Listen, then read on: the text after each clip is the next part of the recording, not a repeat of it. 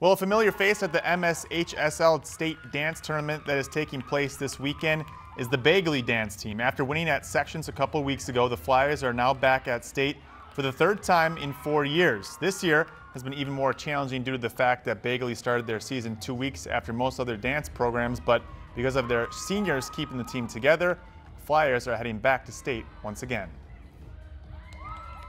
I think our team is successful because they become a family. They do they do trust each other. They trust the coaches. We've had a lot of tough practices and a lot of tough discussions about what the year could look like and our seniors really stepped up to the plate and just said we can do this and the rest of the um, team stepped up to their challenge and here we are i think it it really is our seniors the Flyers will be competing in the high school or high kick division in Class 3A on Saturday at Edina High School.